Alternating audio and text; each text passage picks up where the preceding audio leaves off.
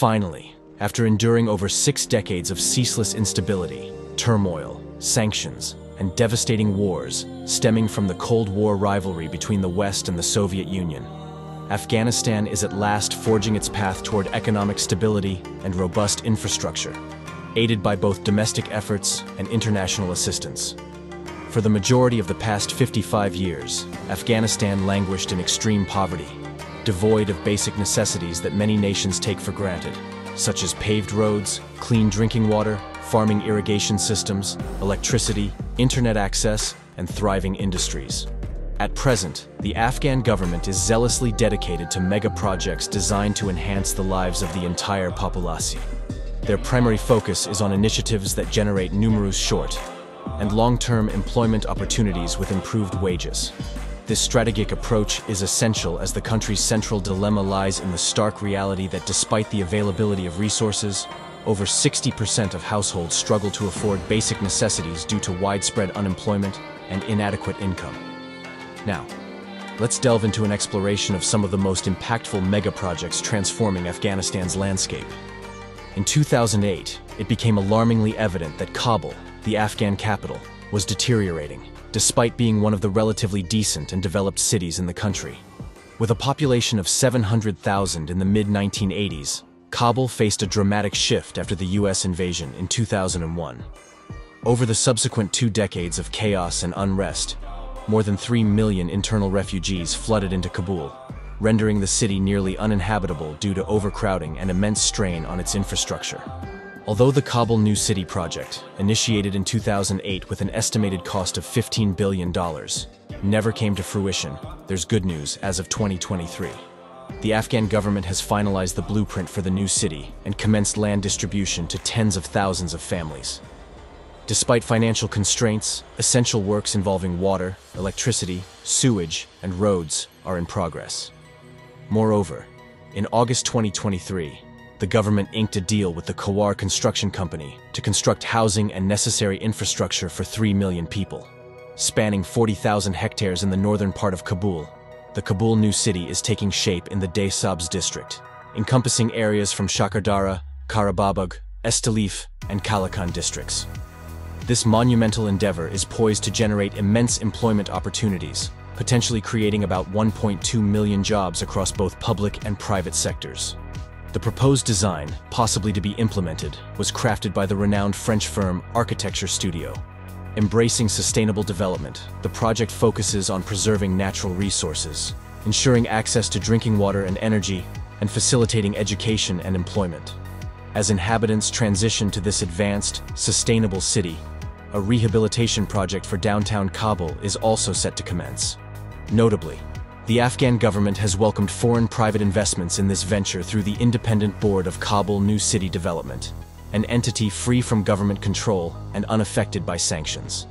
Our next venture revolves around Afghanistan's strategic location at the crossroads of China, Iran, Pakistan, and Central Asian states. The Khaf Herat Railway Initiative is a pivotal component of the proposed $2 billion Five Nations Railway Corridor, spanning Iran, Afghanistan, Tajikistan, Kyrgyzstan, and China. Stretching over a total length of 2,000 kilometers, this railway network commences from Herat and extends to the Afghan-Tajik border. After traversing Tajikistan, it continues through Kyrgyzstan, ultimately reaching China's industrial hub in Xinjiang via the China-Kyrgyzstan-Uzbekistan Railway. This extensive rail network is set to establish vital connections with India as well. In a significant milestone in May 2023, Afghanistan and Iran marked a key achievement by conducting the first trial run of the Khaf Herat Railway. This trial involved transporting 655 tons of railway equipment using 17 wagons, essential for the further construction of the rail line. Covering a distance of 225 kilometers, the Khaf Herat Railway spans 140 kilometers within Afghanistan and 85 kilometers in Iran. Once fully operational and seamlessly integrated with other sections constructed by neighboring nations, Afghanistan stands to gain significantly. It will emerge as a pivotal transportation hub for goods and commodities, facilitating rapid and secure exports of its own products, products that are currently transported exclusively by haul trucks.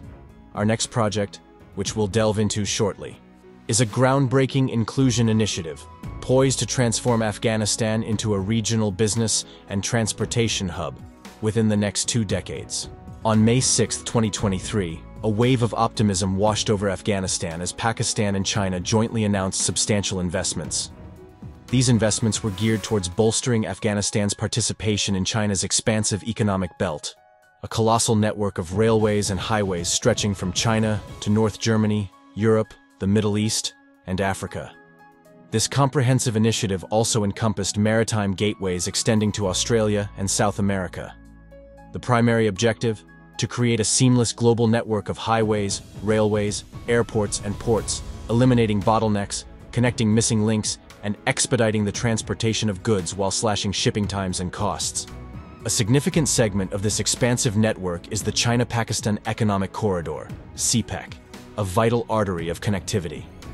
Now, this corridor officially extends to Afghanistan, bridging borders and fostering economic collaboration. Afghanistan shares a 92-kilometer-long border with China, snaking through the narrow Wakhan corridor from Badakhshan to Xinjiang. For financially strained Afghanistan, this development translates into a windfall, hundreds of millions of dollars in direct and indirect aid from China and its belt partners, coupled with direct access to the vast Asian, European, African, and South American markets. What makes this inclusion plan truly transformative is its potential to make Afghanistan an attractive hub for industrial activities, manufacturing, and mining. The nation possesses significant mineral deposits, elevating its appeal to investors and entrepreneurs.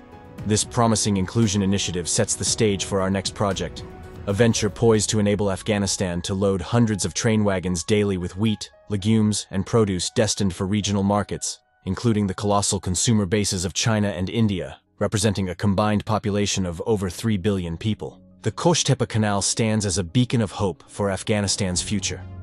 Spanning an impressive 285 kilometers in length, 152 meters in width, and 8.5 meters in depth. This artificial river in northern Afghanistan originates from the Amu Darya River in the Balkh province and traverses Jowzjan and Faryab provinces. Approximately half of the canal has been completed, and construction is progressing rapidly due to the pressing water and food shortages crisis in the north, among other areas. This vital waterway is set to supply millions of Afghans with water, allowing thousands of farmers to return to agriculture. The transformation is profound as 55,000 hectares of land are converted into farmland, with a significant emphasis on grains and wheat. Successful completion of this colossal canal and its related irrigation and farming objectives could enable the nation to export goods, generating much-needed income to fund other mega-projects, including the ambitious Kabul New City Initiative.